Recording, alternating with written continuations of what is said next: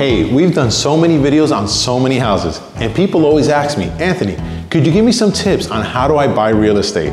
Well, let's start with the basics. I've got five reasons why homeownership makes sense.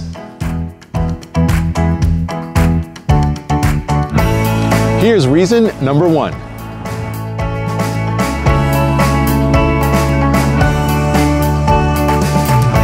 Reason number two involves tax savings. Now, you may want to check with your accountant, but here's a few.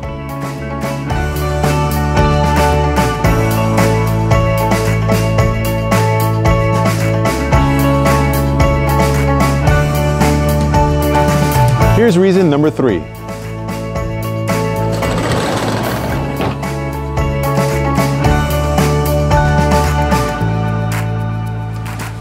Renting is always more expensive than owning, and reason number four will put you at ease. Just check out our most recent comparisons.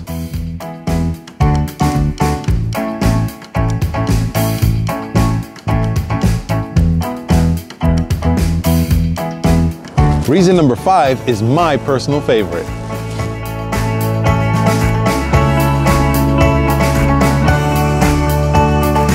So, those are your five tips on why homeownership matters.